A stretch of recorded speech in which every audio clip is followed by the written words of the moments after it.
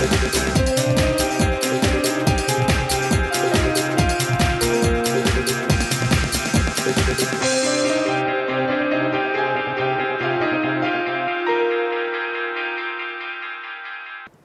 ားမတော်မူကြပါသားခင်ဗျာအခုတစ်ပတ်ကျွန်တော်တင်ပြမှာကတော့ပြီးခဲ့တဲ့ရင်များကမြန်မာနိုင်ငံနဲ့အနီးပတ်ဝန်းကျင်ဒေသတွေမှာဖြစ်ပေါ်ခဲ့တဲ့မိုးလေဝသအခြေအနေတွေနဲ့လာမယ့်ရက်တွေမှာ ရေပေါ်ရအပြင်ကြုံတွေ့နိုင်တဲ့မိုးလေဝသအခြေအနေကြိုတင်ခန့်မှန်းချက်တွေကိုတင်ပြသွားတော့မှာဖြစ်ပါတယ်အဲဒီတစ်ပတ်မှာတော့ပထမဦးဆုံးတင်ပြလို့တဲ့အကြောင်းအရာကတော့ပြီးခဲ့တဲ့ရက်တစ်ပတ်အတွင်းမှာဘင်္ဂလားပင်လယ်အော်ထဲမှာ၃ချိန်မြောက်ဖြစ်ပေါ်ခဲ့တဲ့မုန်တိုင်းနဲ့ပတ်သက်တဲ့ဖြစ်ဖြစ်ခဲ့တဲ့အကြောင်းအရာများပဲဖြစ်ပါတယ်ပြီးခဲ့တဲ့အော်တိုဘာလ 20ရက်နေ့ပတ်ဝန်းကျင်လောက်ကစတင်ပြီးတော့ဘင်္ဂလားပင်လယ်အော်ရဲ့အရှိတောင်ပိုင်းရေပြင်ပေါ်မှာဖြစ်ပေါ်ခဲ့တဲ့လေဘီယာနဲ့ရဝန်းကနေအစပြုပြီးဒေါက်တာဆင်မုန်တိုင်းငယ်အဲ့ဒီမှာတဆင်ဘူပိုင်းမုန်တိုင်းအဖြစ်ရောက်ရှိလာတဲ့မုန်တိုင်းကပထမအဆင့်မှာတော့မြန်မာနိုင်ငံရှိရာအရှိမြောက်ဘက်ကိုချင်းကပ်လာခဲ့ပါတယ်ဒါပေမဲ့မြန်မာနိုင်ငံဟန်ကြီးကျွန်းပတ်ဝန်းကျင်ရေပြင်ကိုရောက်တဲ့အခါမှာတော့ ရုတ်တရက်လမ်းကြောင်းပြောင်းကအနောက်မြောက်ဘက်ကိုပြန်လဲ꿰သွားခဲ့ပြီးနောက်ဆုံးမှာတော့အိန္ဒိယနိုင်ငံရဲ့အရှိဘက်ကမ်းခြေကိုဝင်ရောက်ပြီးအပြော့ပြည့်ပြည့်သွားခဲ့ပါတယ်မြန်မာကာယုထအနီးကိုရောက်တဲ့အခါမှာတော့အများဆုံးလေတိုင်တုံးဟာဗိုလ်ချက်အနီးမှာတနအီမိုင်40ခန့်ရှိပြီးမုန်တိုင်းရဲ့အဝင်းအဝိုင်းကတော့တတိယပြည့်မုန်တိုင်းရဲ့ဆက်ကွင်းကတော့အေယာဝတီတိုင်းအနောက်တောင်ပိုင်းနဲ့ အနောက်မြောက်ပိုင်းဒေသတချို့ကိုမိုးရွာခြင်းနဲ့လေအနည်းငယ်တိုက်ခြင်းတို့ကိုဖြစ်ပေါ်စေခဲ့တာကလွှဲရင်ကျန်တဲ့အပြည့်စည်းအတိပြောက်မရှိခဲ့တဲ့မုန်တိုင်းအဖြစ်ကျွန်တော်တို့တွေ့ခဲ့ကြရပါတယ်ဒီမုန်တိုင်းမြမကမ်းခြေကိုချင်းကပ်လာစဉ်မှာတော့အားကောင်းတဲ့မိုးတိမ်တော်များဖြစ်ပေါ်ခဲ့ပြီးဥတီရဘက်ကလည်းမြမကမ်းခြေကိုချင်းချောက်တဲ့အနေအထားကြီးရှိခဲ့ပါတယ်အဲ့ဒီချိန်မှာပဲ နောက်ပိုင်းမှာတော့အနောက်မြောက်ပိုင်းပြန်ကွေ့သွားတဲ့အခါမှာပုံပုံအားကောင်းလာတဲ့အတွက်ဆိုင်ကလုန်းမုန်တိုင်းအဖြစ်ကိုရောက်ရှိလာခဲ့ပြီးတဲ့နောက်အလက်ကျအမည်ဖြစ်မြန်မာနိုင်ငံကအဆိုပြုတဲ့ကြန့်ဆိုတဲ့အမည်ရှိမုန်တိုင်းဖြစ်လာခဲ့ပါတယ်အဲ့ဒီကြန့်ဆိုင်ကလုန်းမုန်တိုင်းအိန္ဒိယကမ်းခြေရှိရာကိုချင်းကပ်နေစေမှာပဲထိုင်းပင်လယ်ကွေ့အတွင်းက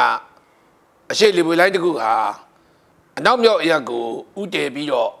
ရွေရှားလာခဲ့ပါတယ်ဒီလိုရွေရှားလာခဲ့တဲ့အတွက်မြန်မာနိုင်ငံတည်င်းသာဤတိုင်း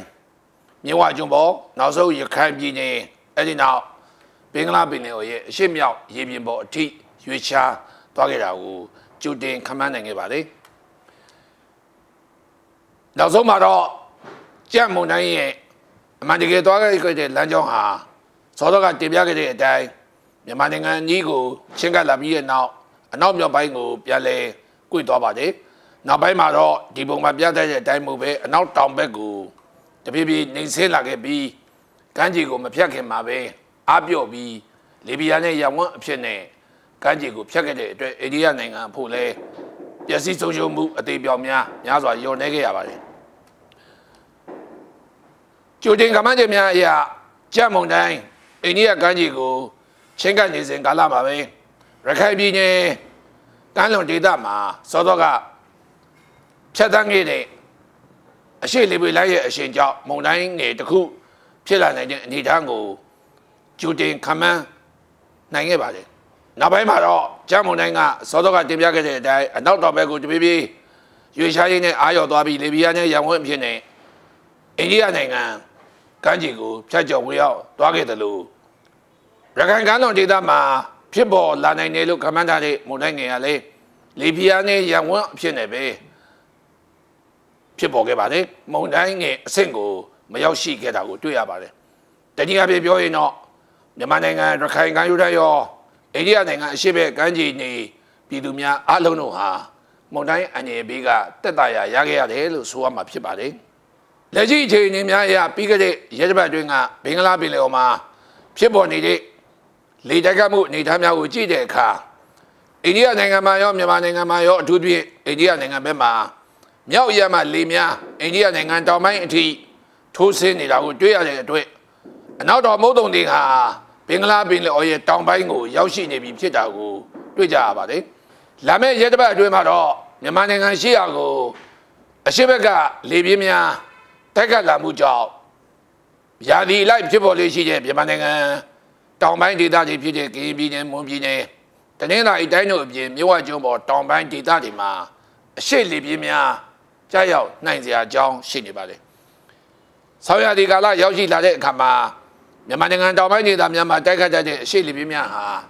ရာသီအလိုက်ဖြစ်ပေါ်တတ်တဲ့လေပြင်းများဖြစ်ုံများမကအဲ့ဒီလေပြင်းများတိုက်ခတ်တဲ့အခါမှာမွန်တနင်္သာရီကမ်းရိုးတန်းကမ်းလွန်ပင်လယ်ပြင်စတဲ့ဒေသတွေမှာအများအပြား လှိုင်းကြီးလာတတ်ပါတယ်ဒီလိုလှိုင်းကြီးတဲ့အခါမှာသွာလာနေတဲ့ရေများတွေအန်ဒီရဖြစ်တဲ့တာရကများလည်းအတိတ်ကာလမှာအများပြားရှိခဲ့ပါတယ်ဒါကြောင့်လာမယ့်တစ်ပတ်အတွင်းမွန်တနင်္သာရီကမ်းရိုးတန်းကမ်းလွန်ပင်လယ်ပြင်မြေဝကျွန်းပေါ်ကမ်းရိုးတန်းကမ်းလွန်ပင်လယ်ပြင်သွာလာမယ့်ရေရင်များအနေနဲ့ရှေ့လေပြင်းအန်ဒီကိုတော့သတိပြုဖို့လိုမှာဖြစ်ပါတယ်ပြီးခဲ့တဲ့ဘက်ကပြပေါ်ခဲ့တဲ့ကြက်မုန်တိုင်းမြန်မာနိုင်ငံဟန်ကြီးကျိုးရှိရာကိုချင်းကလာတုံးကလည်းဒီလိုအရှိလေပြင်းများ တိုက်ခတ်လာတဲ့အတွက်မုန်တိုင်းလမ်းကြောင်းကိုအရှိမြောက်သွားနေရမှအနောက်မြောက်ဘက်ကိုပြောင်းရွှေ့ခဲ့ရခြင်းဖြစ်ပါတယ်ဒီမုန်တိုင်းမှာတော့ဒီအရှိလေပြင်းများရဲ့အကျိုးကျေးဇူးဟာများစွာရှိခဲ့တယ်လို့ကောက်ချက်ချရမှာဖြစ်ပါတယ်မြန်မာနိုင်ငံပေါ်မှာအထက်ပင်ကားတောင်အမြင့်မှာတိုက်ခတ်နေတဲ့လေတွေကိုကြည့်တဲ့အခါမှာအရှိဘက်ကလေပြင်းများတိုက်ခတ်နေတာတွေ့ရပြီးအထက်ပေ3000ခွဲအမြင့်မှာတိုက်ခတ်နေတဲ့လေကြီးကြည့်တဲ့အခါမှာတော့အနောက် ဂျက်လေစီကြောများတိုက်ခတ်နေတာကိုတွေ့ရတဲ့အတွက်မြန်မာနိုင်ငံရဲ့အထက်မှာရှိတဲ့လေထုအတွင်းမှာအောက်ဘက်မှာအရှိလေပြင်းများနဲ့အနောက်ဘက်မှာအနောက်ဂျက်လေစီကြောများတိုက်ခတ်နေတဲ့အတွက်မြန်မာနိုင်ငံအပေါ်မှာလေထုအထက်အောက်ရွေ့ဆောင်မှုဟာအလွန်များပြားနေတာကိုတွေ့ရပါတယ်ဒီချက်ကိုကြည့်ချင်းအပြင်လာမယ့်တစ်ပတ်အတွင်းမှာတော့မြန်မာနိုင်ငံနဲ့အနီးပတ်ဝန်းကျင်ဒေသတွေမှာမုန်တိုင်းပြဖို့အလားအလာများမရှိနိုင်ဘူးလို့ခံမှန်းရတဲ့အတွက်မုန်တိုင်းအန္တရာယ်ကင်းဝေးနိုင်တယ်လို့ဆိုရမှာဖြစ်ပါတယ်။ လာမယ့်တစ်ပတ်အတွင်းမိုးရွာသွန်းမှုခံမှန်းချက်များကိုကြီးတဲ့အခါမှာတော့အိန္ဒိယနိုင်ငံရဲ့အရှေ့မြောက်ပိုင်းဘင်္ဂလားပင်လယ်အော်အနောက်အလယ်ပိုင်းမှာမိုးကောင်းစွာရွာသွန်းနိုင်တဲ့ဤကျူဗီယက်နမ်နိုင်ငံကမ်းခြေတစ်လျှောက်နဲ့ထိုင်းပင်လယ်ကွေ့အတွင်းမှာလည်းမိုးများကောင်းမွန်စွာရွာသွန်းနိုင်တာတွေ့ရပါတယ်။အလားတူပဲဖိလစ်ပိုင်နိုင်ငံပစိဖိတ်သမုဒ္ဒရာအနောက်ဘက်ဒေသတွေမှာမိုးကောင်းနိုင်တဲ့ဒေသများအဖြစ်ခန့်မှန်းရရှိတဲ့အတွက် လာမယ့်တစ်ပတ်အတွင်းမှာပစိဖိတ်သမုဒ္ဒရာအနောက်ဘက်ဖိလစ်ပိုင်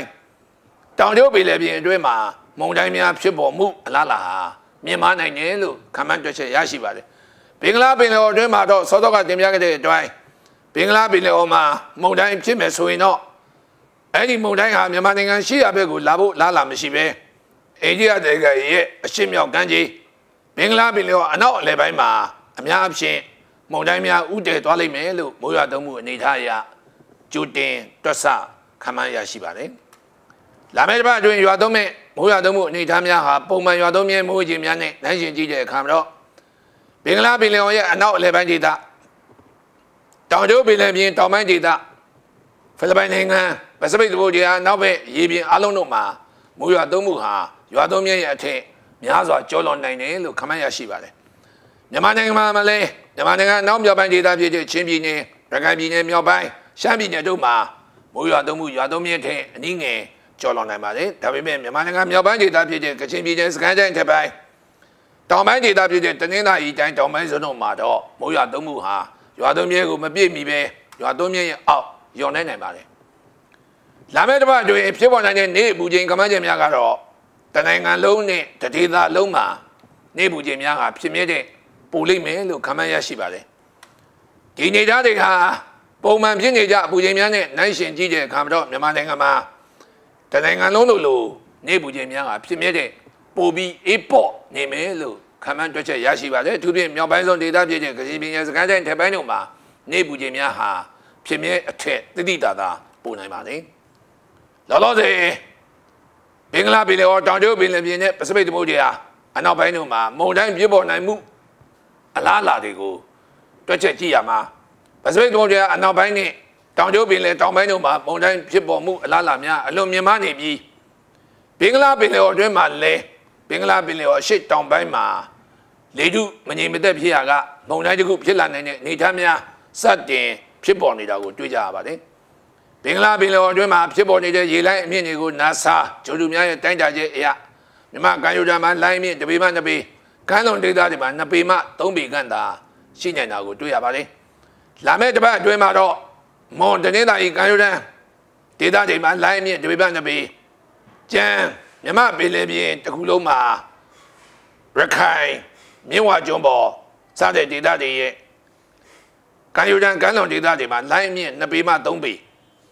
ရှိနိုင်တယ်လို့ခန့်မှန်းရရှိပါတယ်ဒီနေ့ကုန်ကာလကျော်လွန်ပြီးတော့2019ဇန်နဝါရီလအထိ3လတာမိုးရွာသွန်းမှု ခန့်မှန်းချက်များကြိုတင်တွက်ဆရမှာမြန်မာနိုင်ငံအနေနဲ့တော့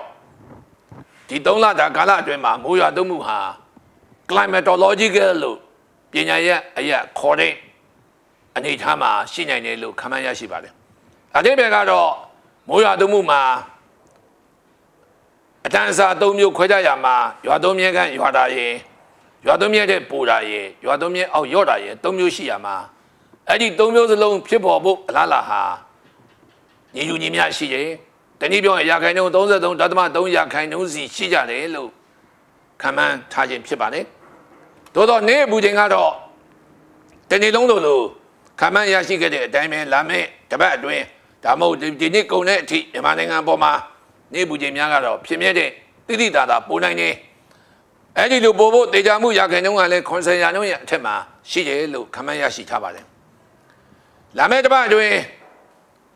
မြန်မာနိုင်ငံနဲ့အနီးပါဝင်ဒေသတွေမှာဖြစ်ပေါ်နိုင်တဲ့ရာသီဥတုအဆိုးကောင်းခံမှန်းချက်များအနေနဲ့တော့မြန်မာနိုင်ငံအရှေ့ဘက်မှာရှိတဲ့တောင်ကျိုးပင်လယ်ပစိဖိတ်သမုဒ္ဒရာအနောက်ပိုင်းဒေသတွေမှာမိုးရွာသွန်းမှုပုံမှန်တဲ့အနည်းငယ်ပုံနိုင်ပါလေဘင်္ဂလားပင်လယ်တောင်ပိုင်းနဲ့အိန္ဒိယနိုင်ငံအရှေ့ဘက်ကမ်းခြေတစ်ဝိုက်မှာလည်းမိုးရွာသွန်းမှုပုံမှန်တဲ့အနည်းငယ်ပုံနိုင်ပြီးအင်ဒိုနီးရှားနိုင်ငံဘက်မှာတော့မိုးရွာသွန်းမှုတိတိတသာပုံနိုင်ပါလေ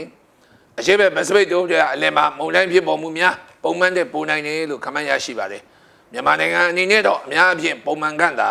ရှိနိုင်တယ်လို့ခန့်မှန်းရရှိထားပါတယ်ဆက်လက်ပြီးလာမယ့်ရဲတပတ်အတွက်မိုးလေဝသခန့်မှန်းချက်များဆက်လက်တင်ပြလိုပါတယ်ဘင်္ဂလားပင်လယ်ရဲ့အရှေ့တောင်ပိုင်းမှာလေထုမငြိမ်မသက်ဖြစ်ပေါ်နေပြီးတော့အဲဒီကနေအစာပြုတ်ဖြစ်လာမယ့်အရှေ့လေပွေလိုင်းတစ်ခုကြောင့်ဘင်္ဂလားပင်လယ်ရဲ့အနောက်အလယ်ပိုင်းအိန္ဒိယကမ်းခြေပိုင်းမှာလာမယ့်နိုဝင်ဘာလဆန်းမှာမုန်တိုင်းငယ်တစ်လုံးဖြစ်လာနိုင်တယ်လို့ခန့်မှန်းရရှိပါတယ် ဘင်္ဂလားပင်လယ်အနောက်လယ်ပိုင်းမှာမုန်တိုင်းငယ်တစ်ခုဖြစ်ပေါ်နိုင်ပြီးကပ္ပလီပင်လယ်ပြင်ဘင်္ဂလားပင်လယ်အော်မှာတိမ်အသင့်တင်ကတင်ထူရနိုင်ပါတယ်မြန်မာတပြည်လုံးမှာတော့တိမ်အသင့်တင်ရှိနိုင်တယ်လို့ခန့်မှန်းရရှိပါတယ်မြန်မာကမ်းရိုးတန်းနဲ့ကမ်းလွန်ပင်လယ်ပြင်မှာအရှိလေပြင်းများကြားရောက်နိုင်ပြီးအထူးဖြင့်မွန်တနင်္သာရီနဲ့မြဝကျွန်းပေါ်မြန်မာကမ်းရိုးတန်း6ကမ်းလွန်ပင်လယ်ပြင်မှာလိုင်းအသင့်တင်မှာလှမ်းကြည့်နိုင်ပြီးလိုင်းအမြင့်ဟာ9ပေမှ10ပေခန့်အထိရှိလာနိုင်ပါတယ် ကျန်မြမပင်လယ်ပြင်ဖြစ်တဲ့ဒုပြင်ရခိုင်ကမ်းရိုးတန်းမှာတော့လိုင်းအမြင့်အနည်းငယ်သာရှိနိုင်ပါတယ်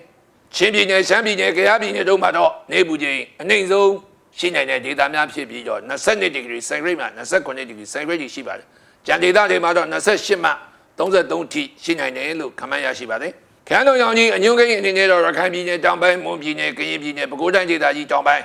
ရန်ကုန်တိုင်းဒေသကြီးအေရဝတီတိုင်းဒေသကြီးဒင်းသာရီတိုင်းဒေသကြီးတို့မှာ ခန်းလုံးရောင်ကြီးအညွန့်ကိန်းဟာအလွန်မြင့်မားတဲ့အဆင့်ရှိပြီးကြံဒေသများကတော့မြင့်မားတဲ့အဆင့်မှာပဲရှိနေပါတယ်။လာမယ့်တပတ်အတွင်းမြန်မာတနိုင်ငံလုံးမှာမိုးတိမ်တော်အနည်းငယ်ဖြစ်နိုင်ပြီးတေချာမှု35ရာနှုန်းအထိရှိပါတယ်။မိုးရွာသွန်းမှုကမ္ဘာ့ကျအနေနဲ့တော့ကချင်ပြည်နယ်၊မွန်ပြည်နယ်၊ပဲခူးတိုင်းဒေသကြီး၊ရန်ကုန်တိုင်းဒေသကြီးတို့မှာနေရာကွက်ကြား၊ကယားပြည်နယ်၊ကရင်ပြည်နယ်၊စကိုင်းတိုင်းဒေသကြီးအထက်ပိုင်း၊အေရဝတီတိုင်းဒေသကြီးနဲ့တင်းသာရီတိုင်းဒေသကြီးတို့မှာနေရာကျဲကျဲကြံဒေသတွေမှာတော့နေရာစိတ်စိတ် မိုးချစ်ချုံရွာသွန်းနိုင်ပါတယ်လို့ခန့်မှန်းရရှိထားပါကြောင်းတင်ပြအပ်ပါတယ်မြန်မာနိုင်ငံသူနိုင်ငံသားများအားလုံးတဘာဝဘေးအန်ဒရယ်များမှအစဉ်ကင်းဝေးနိုင်ကြပါစေ။